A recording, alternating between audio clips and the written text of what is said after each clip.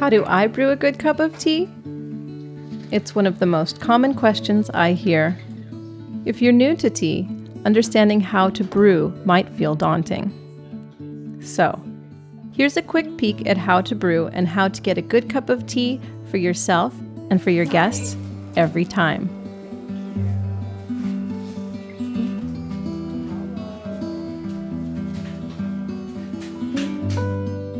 For this small pot, for myself and a friend, I'm going to use two heaping tablespoons.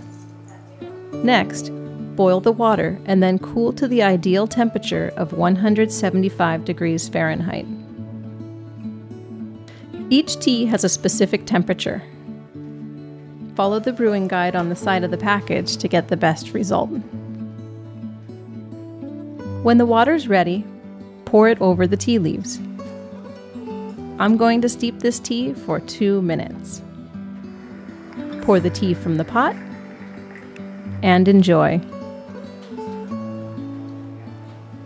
If the tea is a little strong, use less leaf, less temperature, or less steeping time. And if the flavor is light, use more. If I'm brewing a quick cup of tea just for myself, I like to use an in cup strainer or an insulated tea tumbler for convenience. That's the basic step by step, but it's good to experiment to meet your individual taste. Remember, making a good cup of tea is a journey where practice makes perfect.